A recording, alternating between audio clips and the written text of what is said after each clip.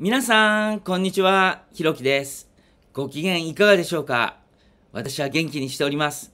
さてさて、えー、音楽の時間です。日本語版では洋楽を紹介しております。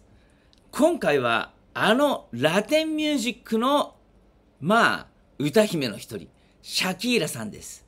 ねえ。もうちょっと結構昔の話になりますが、南アフリカでのワールドカップ、主題歌歌いましたね。あの時は、よかったな。はい。今もまあ、ご健在ですけれども。そのシャキーラさん、アコースティックギターをバックに歌う、いい曲があります。いい曲です。はい。曲名もジプシー。ね。アコースティックギターに合うでしょ？はい。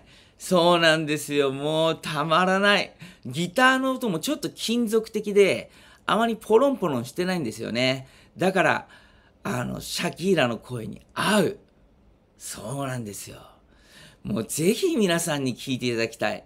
まあ、ライブバージョンもいいですが、やっぱりスタジオバージョンがですね、もうしっかり音が整っていて、まあ素晴らしい出来だと思います。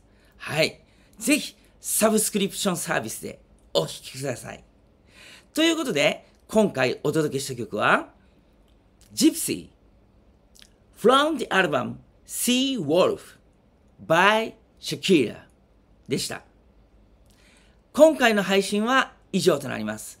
また次の配信、または別の配信でお会いしましょう。さようなら。音を楽しみましょう。